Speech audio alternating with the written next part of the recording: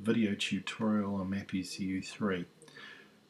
I've just started MapECU3 or MapCal3 now and you'll see the message down the bottom that the map sensor configuration file is loaded. That's the normal message when you start MapCal3 uh, and we have a MapECU3 connected to the USB port, drivers installed and so forth, it's all working.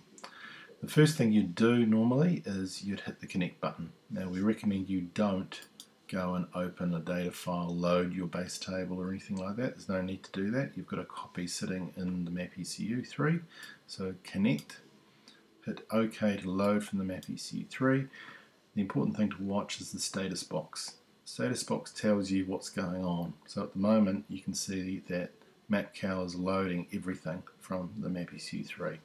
So now we're live, what we call online, and the status box has changed to reading data.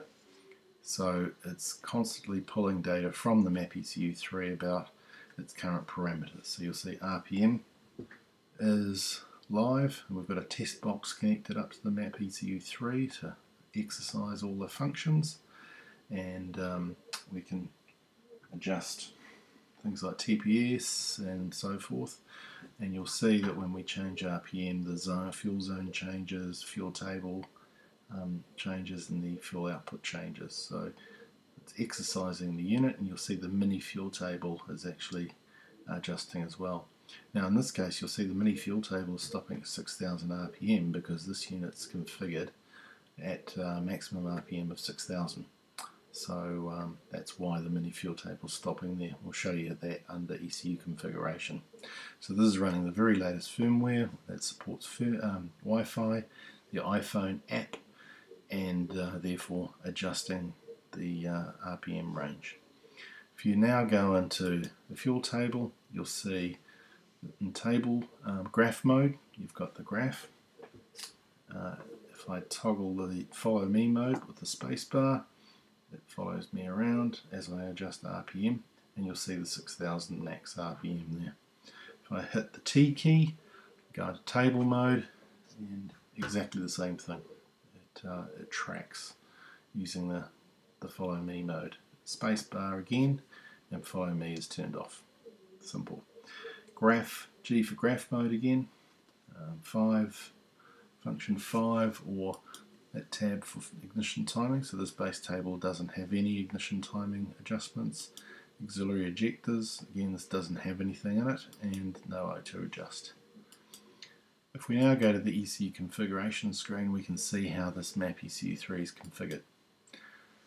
With um, MapCal 3.4, we changed the configuration screen to use tabs because we were running out of screen real estate uh, for all the functions.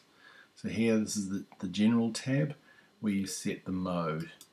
Modes in the MapECU3 are MAF elimination, map replacement. Um, so that's the standard, if you like, MapECU3 modes where you eliminate the mass airflow sensor or the map sensor.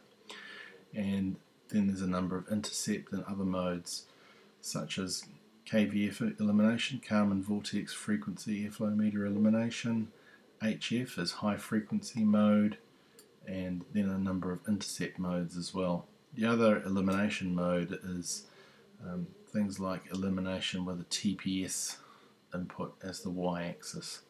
Now if you're not sure what the y-axis means, that's the load axis. So if I go into um, MAF elimination, the default, if I go into the fuel table, the, the default load is the map sensor. So in this case it's the 0 well, minus, um, 20.4 inches of mercury to 35 psi. So that's the load. If you change it to TPS, y-axis, that's the, the load on that y-axis. x-axis is RPM, y-axis is load. Back to ECU configuration. This is where you set the pressure scale. So what's important to note is that all these ones on the pressure scale options are just various configurations for the internal map sensor. So the internal map sensor can sense up to 42 psi, which you'll see is the very high boost option. But everything where it says um, high boost, very high boost, and so forth, uh, before the manufacturer, as I mentioned, uses the internal map sensor. So that's quite important to know. For example, this minus 30 inches to 3 psi, that's a naturally aspirated table. So lots of lines or rows of vacuum, very little in the way of boost. So if you've, you choose the right pressure scale depending on your configuration. Then you can have various external map sensors plugged into the three-way connector on the MAP ECU3. A couple of Toyota map sensors uh, with varying boost configurations. The model numbers are, are shown there. Some GM um, 2 bar and 3 bar uh, map sensors. And you're, they're actually the same 2 bar sensor and same 3 bar sensor, but these are just different pressure scales, like the internal map sensor configurations. And finally, AEM 5 bar for the really high boost configuration. Um, when you select a boost a pressure scale, you'll see that the vacuum lines and boost lines and pressure per row are configured down here. If we select another one of those, you'll see this changes to 4 vacuum lines, 14 boost lines, but now it's 3 psi per row. If I select the naturally aspirated, it's 15 vacuum lines, 3 boost lines, and it's only 1 psi, so very uh, high resolution table. Then the next uh, option is ignition configuration. In this case we've got a MapECU3 tester plugged in which exercises all 8 ignition channels, so we've configured to 8 channel or 8 cylinders coil on plug. Uh, you essentially wire configure this to the wiring that you've got if you've got a Supra, it would be six cylinder coil on plug. Um, it's a GTE. If it's a GE, you would select six cylinders distributor. So it's the number of wires that are actually configured on the unit. Compensation configuration. Enable IAT compensation.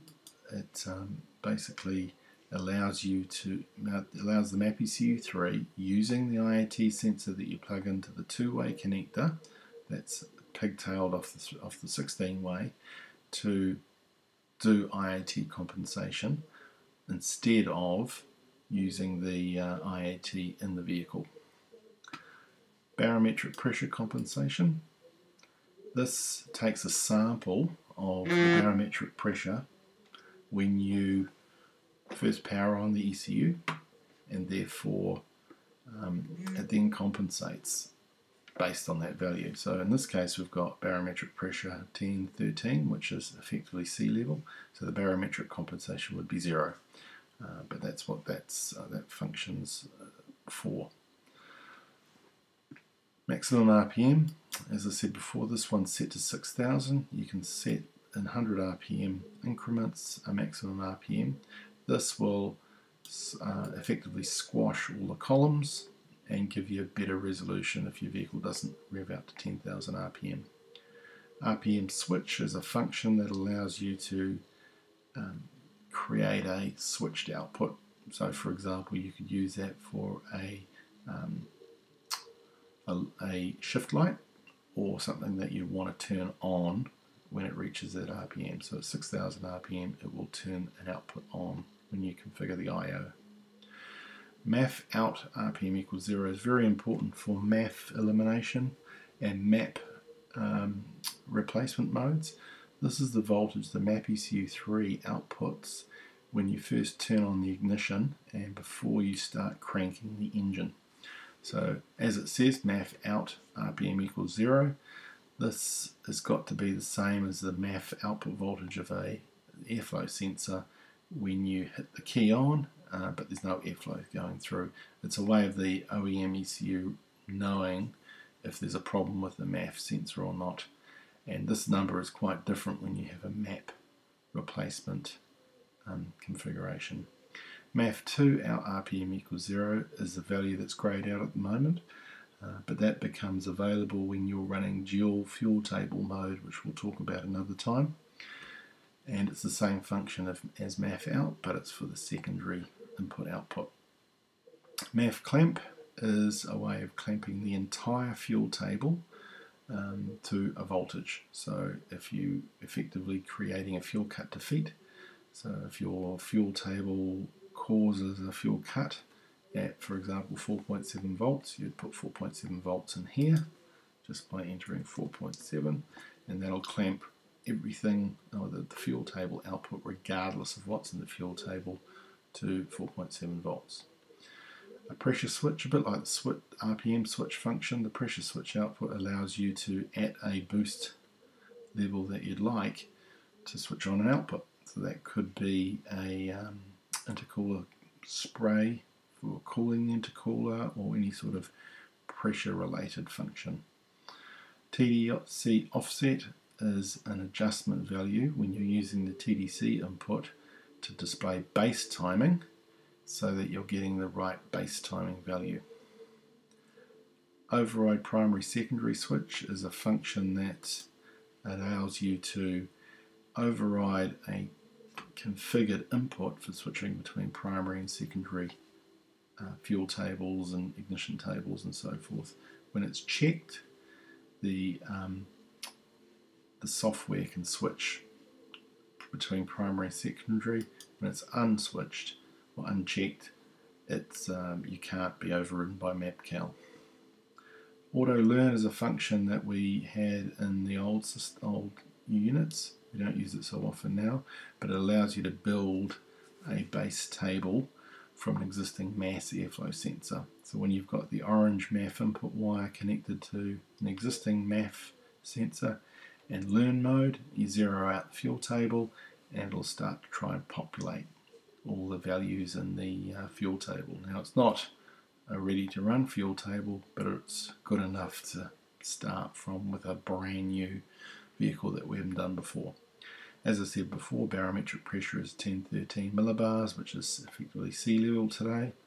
The firmware version of the MAP ECU3 connected is 4.6 and its serial number is 30,000.